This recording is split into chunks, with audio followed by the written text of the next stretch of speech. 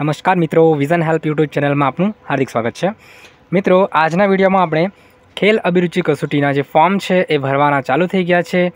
એની જે વાત છે એ ત્રણ તારીખ, અગિયાર મહિનો અને બે હજાર ત્રેવીસથી ભરવાના ચાલુ થવાના છે. અને કયા કયા વિદ્યાર્થીઓ જે છે, ઉમેદવારો છે, આ ફોર્મ ભરી શકે છે. તેમજ આજે ખેલ અભિરુચિ કસોટી જે હતી, એમાં અગાઉ જે ઉમેદવારે ફોર્મ ભર્યા હતા, ત્યારે જે જે પરીક્ષા લેવામાં આવવાની હતી, એ પરીક્ષા જે છે એ કોઈ કારણસર છે તો મોકૂફ રાખવામાં આવી હતી.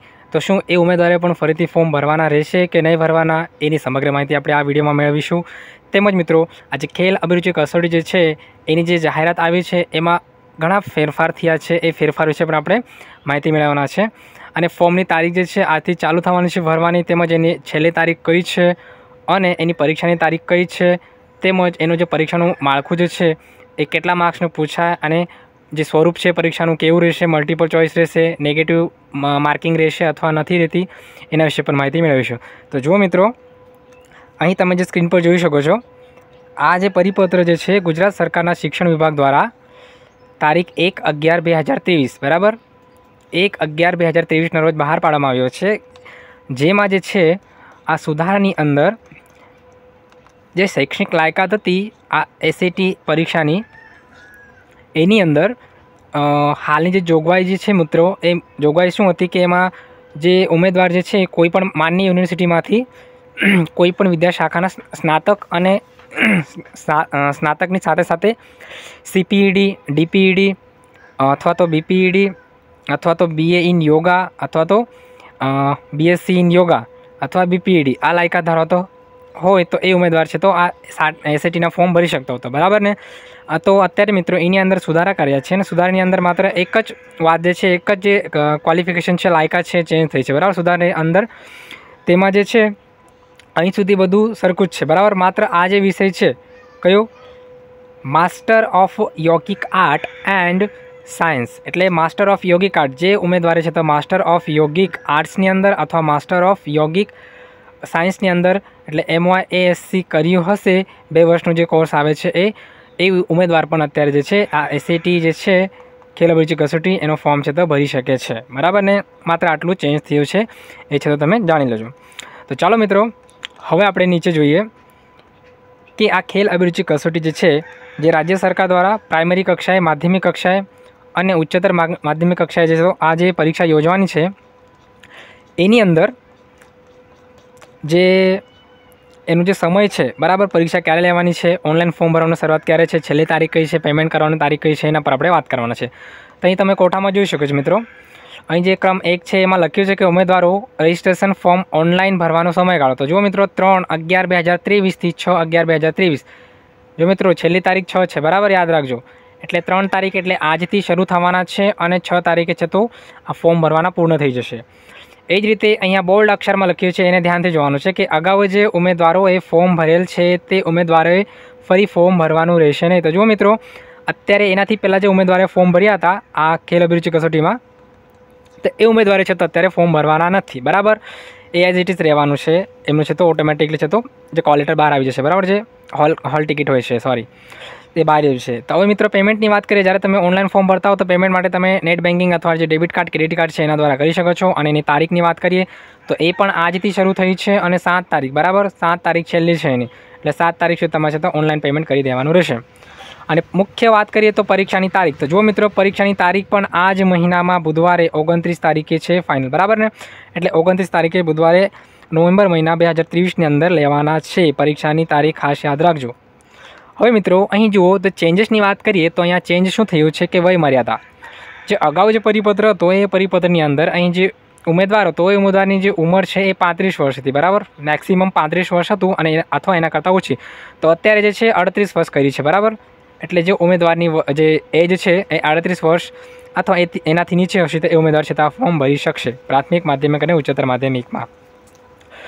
હવે મિત્રો, બીજી વાત કરીએ. કે આજે ખેલ અભિરુચિ કસોટી છે, એનું માળખું જે, અભ્યાસક્રમ છે, પરીક્ષા છે, એનું જે માળખું કેવું રહેશે? બરાબર ને? તો માળખા માટે વાત કરીએ મિત્રો, તો ટોટલ સો માર્ક્સનું પેપર રહેશે. બરાબર? એમાં કસોટીનું માળખું જુઓ. મલ્ટિપલ ચોઇસ ક્વેશ્ચન રહેશે અને દરેક પ્રશ્ન છે તે એક ગુણનો રહેશે અને ચાર ઓપ્શન તમને આપવામાં આવશે અને સાચો વિકલ્પ એમાંથી પસંદ કરવાનો રહેશે. બરાબર? એ જ રીતે આ જે કસોટી છે, આ કસોટીમાં મૂલ્યાંકન માટે જે છે, કોઈ પણ નકારાત્મક મૂલ્ય નથી. એટલે કે મિત્રો આ જે એમસીક્યુ ટાઈપ જે પ્રશ્નો તમને પૂછવામાં આવશે, એમાં નેગેટિવ માર્કિંગ માર્કિંગ નથી. આ યાદ રાખજો, બરાબર? એટલે તમે એવું ન એવું ન વિચારતા કે નેગેટિવ માર્કિંગ છે ને પરીક્ષામાં છોડી આવવા બરાબર ને? નેગેટિવ માર્કિંગ નથી, એટલે તમે જતો દરેક ઓપ્શન ટીક કરી શકો છો. હવે છે બીજો મુદ્દો કે વિવિધ હેતુલક્ષી કુલ સો પ્રશ્નો રહેશે, બરાબર? તો જુઓ મિત્રો, સો માર્ક્સનો તમારો પેપર રહેશે એટલે સોરી સો માર્ક્સનો જે એમસીક્યુ ક્વેશ્ચન રહેશે અને એ છે તો નેવું મિનિટ છે તમને આપવામાં આવશે એટલે લગભગ દોઢ કલાક, બરાબર ને? એટલે દોઢ કલાક તમને ફિક્સ આપવામાં આવશે, એમાં તમારે છે તો હંડ્રેડ એમસીક્યુ છે અટેમ્પ્ટ કરવાના રહેશે, બરાબર? પછી તમામ વિભાગો અને તેના તમામ પ્રશ્નો ફરજિયાત છે. એ જેટલા બી વિભાગ એમાં આપવામાં આવેલા હશે, એના દરેક પ્રશ્નો છે તો ફરજિયાત છે, બરાબર? એટલે ફરજિયાત તમારે રાઉન્ડ કરવાના રહેશે. તમામ વિભાગોનું એક જ પેપર છે. જેટલા બી વિભાગ હશે, એમાં એક જ પેપર આવશે, કોઈ અલગ અલગ પેપર આપવામાં આવતા નથી. હવે જુઓ મિત્રો આપણે જોવાના છે કે કસોટીનો જે અભ્યાસક્રમ છે કયો છે, બરાબર? તો આજે કસોટી છે ખેલ અભિરુચિ, બરાબર? તો એનો અભ્યાસક્રમ જોઈએ મિત્રો, તો અભ્યાસક્રમની વાત કરીએ તો જે સિત્તેર માર્ક્સનો જે ગુણ છે, એ મળવાના છે ક્યાંથી? રમતગમત સાથે સંકળાયેલ જ્ઞાન આધારિત પ્રશ્નો. અહીંયા એના ટોપિક આપવામાં આવ્યા છે, તમે જોઈ શકો છો, બરાબર? અથવા સ્ક્રીનશોટ લઈ શકો છો. પછી જે મિત્રો, બીજો ટોપિક જે છે એ છે બાળ વિકાસ અને શૈક્ષણિક સિદ્ધાંતો ચાઇલ્ડ ડેવલપમેન્ટ એન્ડ પેડાગોજી બરાબર? એ વીસ માર્ક્સનો જે પ્રશ્નો, વીસ પ્રશ્નો રહેશે એમાં ટોટલ છે તો. વીસ પ્રશ્નોના ટોટલ ગુણ કેટલા રહેશે? ટોટલ તમારા વીસ ગુણ રહેશે. અહીં જો અહીંયા સિત્તેર છે, અહીં વીસ છે. બરાબર ને? અને એમાં પણ છે તો જે પણ ટોપિક છે, અહીંયા ટોપિક આપવામાં આવ્યો છે, તમે જોઈ શકો છો. એ ટોપિકનો તમારે છે તો અભ્યાસ કરવાનો રહેશે. બરાબર? આ વીસ માર્ક્સ માટે. હવે વાત કરીએ મિત્રો, ત્રીજા ટોપિકની કે ત્રીજા ટોપિક કેટલા માર્ક્સનો છે? તો સામાન્ય જ્ઞાન એટલે જનરલ નોલેજ છે, પછી વર્તમાન પ્રવાહની જાણકારી, આ ટોટલ દસ માર્ક્સ દસ પ્રશ્નો રહેશે, દસ માર્ક્સનો બરાબર? એટલે જુઓ મિત્રો, ઉપર જોઈએ આપણે સિત્તેર માર્ક્સ પ્લસ વીસ માર્ક્સ પ્લસ દસ માર્ક એટલે ટોટલ કેટલા? સો માર્ક્સ એટલે તમારું જે સો માર્ક્સનું પેપર રહેશે, બરાબર ને? એટલે તમારું હંડ્રેડ માર્ક્સનું પેપર છે તો એમસીક્યુ ટાઈપ અટેમ્પ કરવાનું તમારે રહેશે. એમાં પણ ટોપિક જોઈએ તો અહીંયા આજે સામાન્ય જ્ઞાનની અંદર ટોપિક અહીંયા આપવામાં આવ્યા છે, એ તમને છે તો એનો ડિટેલ્સમાં અભ્યાસ કરવાનો રહેશે. હવે જુઓ મિત્રો, અહીં લખ્યું છે કે આ પરીક્ષાનું જે કઠિનતાનું મૂલ્ય જે છે, એ કયા કક્ષાનું રહેશે? તમારા ગ્રેજ્યુએશન કક્ષાનું રહેશે. પછી એમાં લખ્યું છે કે આ કસોટી માટે તમે છે તો અભ્યાસક્રમના જે પાઠ્યપુસ્તક છે, એ ધોરણ છથી લઈને બારના જે પાઠ્યપુસ્તકો છે, કયા? યોગ, સ્વાસ્થ્ય અને શારીરિક શિક્ષણના જે પુસ્તકો છે, એ છે તો પુસ્તકોનો તમે છે તો અભ્યાસ કરી શકો છો. બરાબર? એના અભ્યાસક્રમ આધારે છે તો તમને જે તો પ્રશ્નો પૂછવામાં આવશે. પછી વાત કરી છે આ કસોટીના ઓછામાં ઓછા પચાસ ટકા એટલે કે પચાસ ગુણ. જો મિત્રો, મેળવશે તો જ પાસ ગણાશે.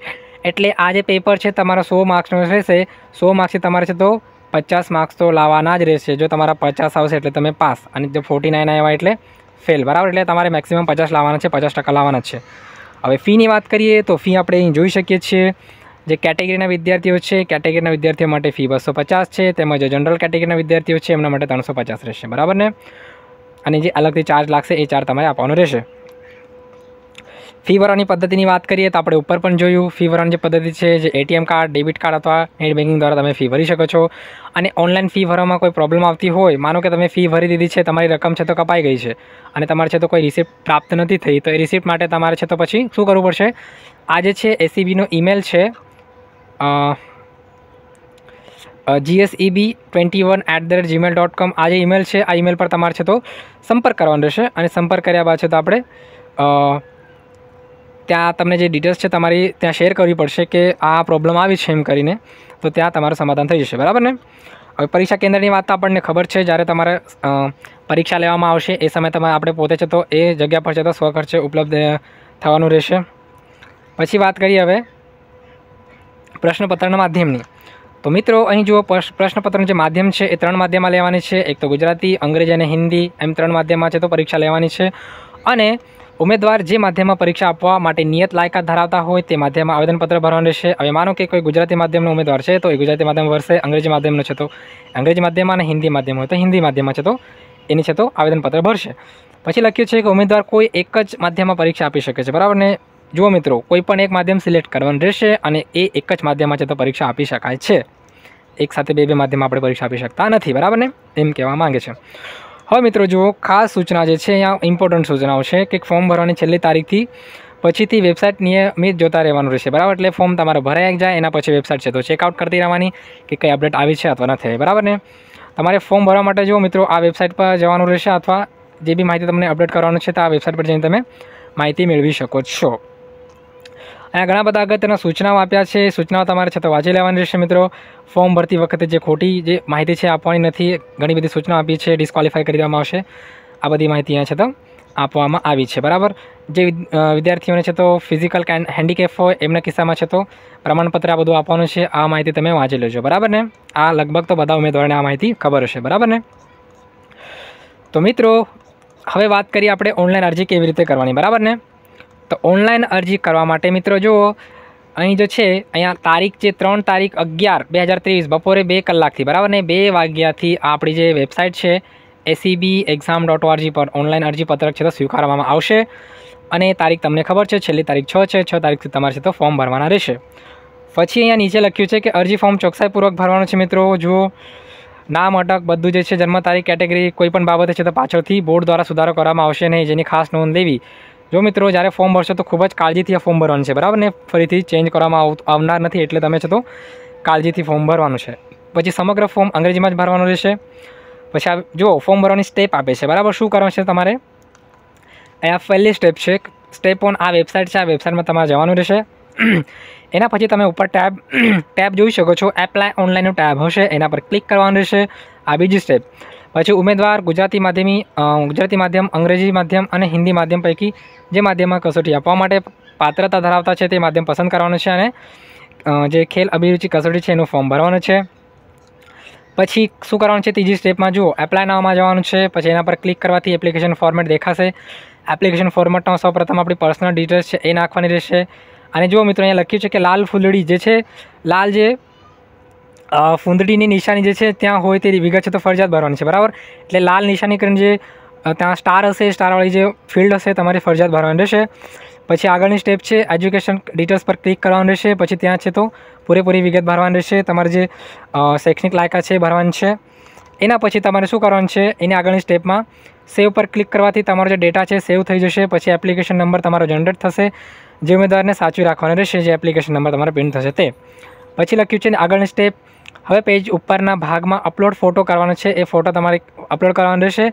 એપ્લિકેશન નંબર ટાઈપ કરવાનો રહેશે અને તમારી જે બર્થ ડેટ છે એ નાખવાની. ત્યારબાદ ઓકે પર ક્લિક કરી ફોટો સિગ્નેચર આ બધું અપલોડ કરવાનું રહેશે. જો મિત્રો, આ ફોર્મ ભર્યા ગયા બાદ તમે ઉપરના પેજમાં છે તો અપલોડ ફોટો અને એના પર ક્લિક કરવાનું છે. તમારે એપ્લિકેશન નંબર નાખીને તમારી જે બર્થ ડેટ છે એ નાખી દેવાની છે. ઓકે કરવાનું છે. સિગ્નેચર ફોટો બધું અપલોડ કરવાનું છે.